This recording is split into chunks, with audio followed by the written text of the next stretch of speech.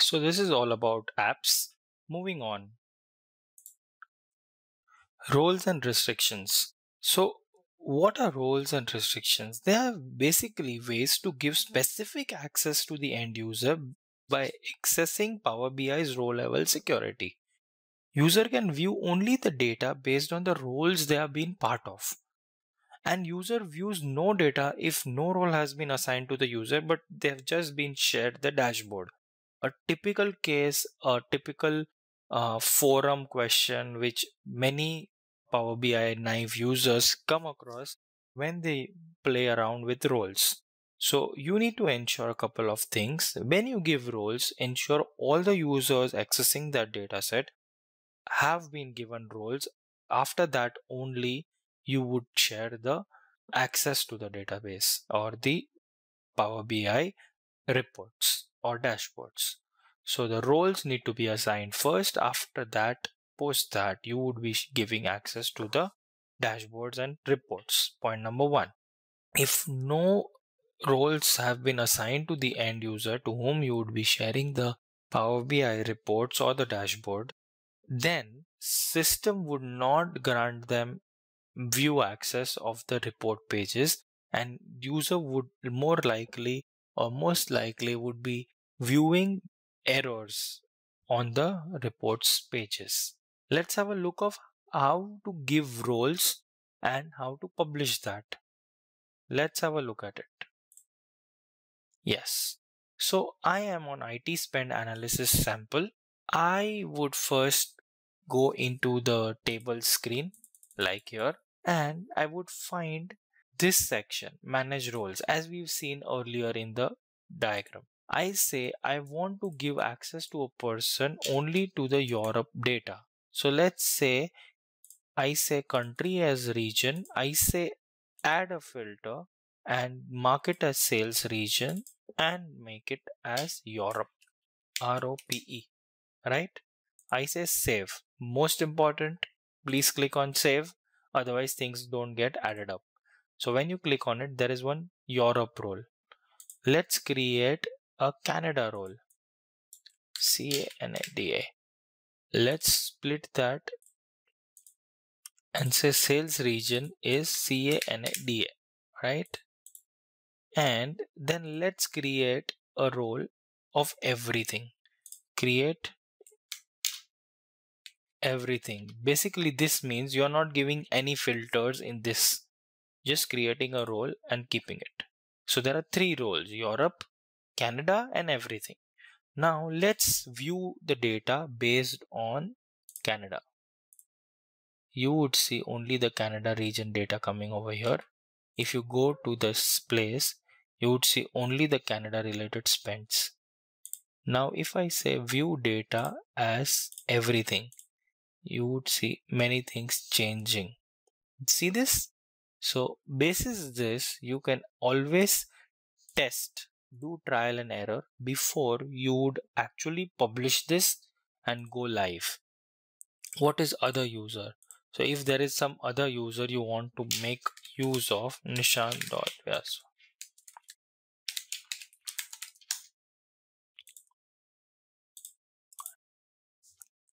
I would be seeing all of this. So you can make use of this. And what if you are not part of any of the roles? What would you see?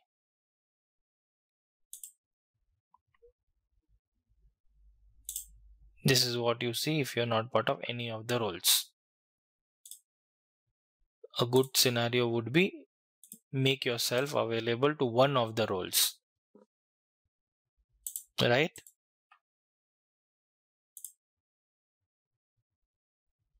yeah there we are. So this is how the roles are defined.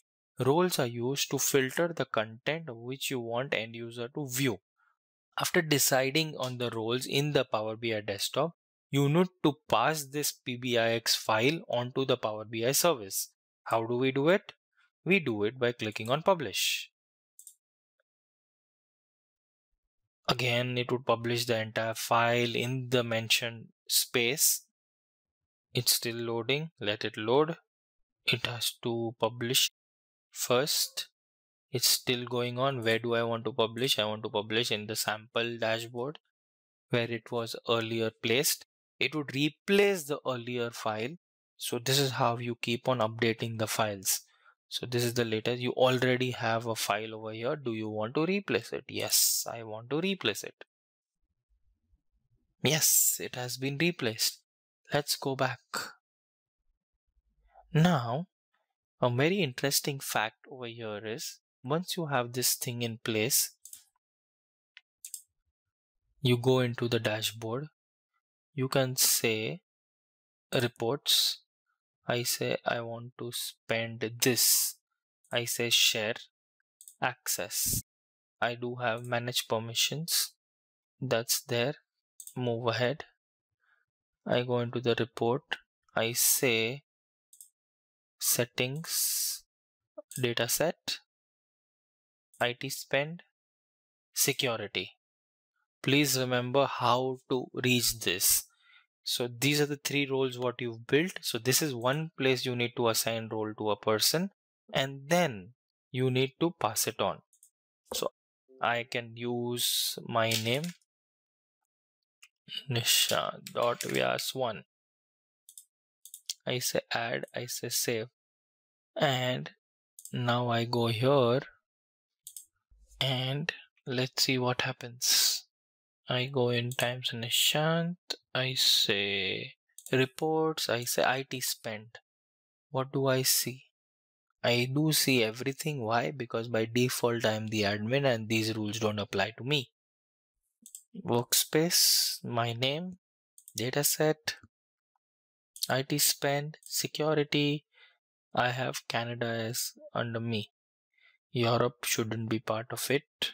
Let's say again I go here I go here I go here.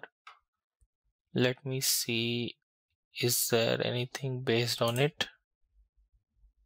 No so more important these are the nitty-gritties of the roles is if you're an admin no matter what role you belong to you would get access to everything whereas if I had another person then only the limited restricted data would be given access to the user so today we saw a couple of things. One is within the report, you can limit the access given to the end users based on the roles.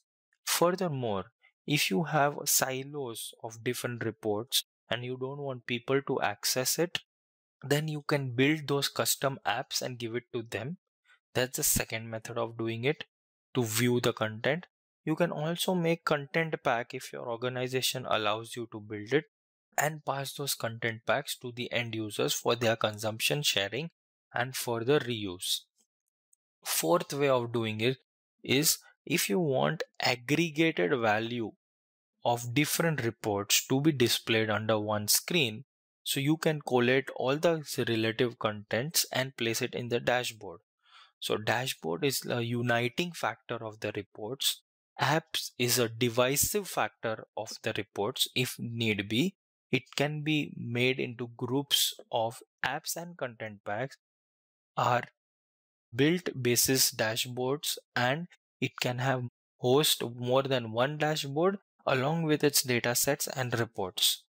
So a little nitty gritty of this is more or less important to know and remember while designing these dashboards